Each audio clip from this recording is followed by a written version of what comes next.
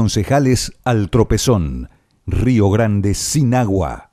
Constataron deuda millonaria del municipio con empresa. Los problemas que tenemos de agua en nuestra ciudad yo se lo atribuyo en un 100% a la desidia y a la falta de capacidad de gestión que tiene la Secretaría de Obras y Servicios Públicos del municipio de Río Grande en la figura del señor Jorge Koldorf.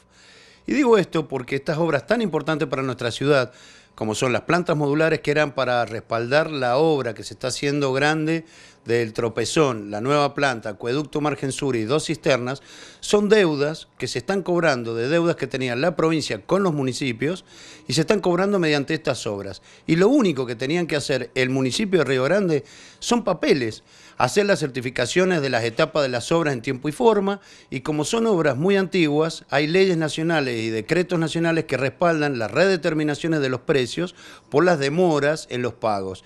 Esto no se ha hecho, hay mucha demora en los cobros de las certificaciones, de hecho la misma gente de la empresa que pudimos hablar ayer nos manifestaba que han cobrado recién ahora un certificado del año 2013 y no han cobrado todavía las redeterminaciones. ¿Esto qué significa?